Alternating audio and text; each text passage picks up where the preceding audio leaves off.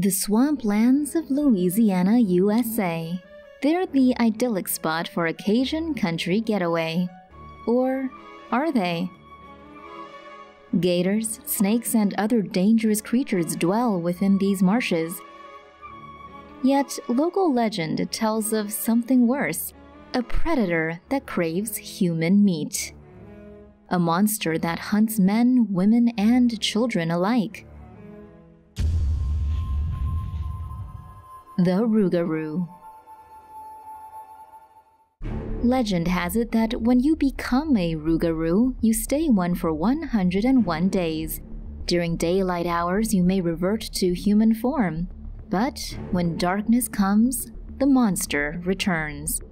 Lore of the Rougarou is said to have traveled to Cajun country with immigrants from France and Quebec.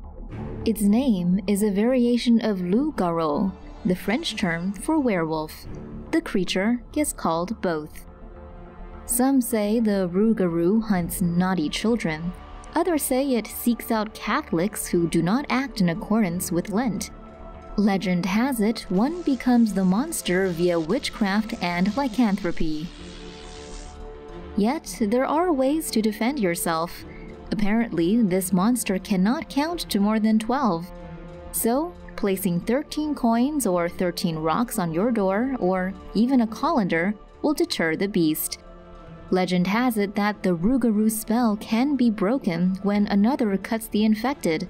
Unfortunately, this brave act sees the curse move onto the individual who made the cut. And so, the Rougarou paradox continues.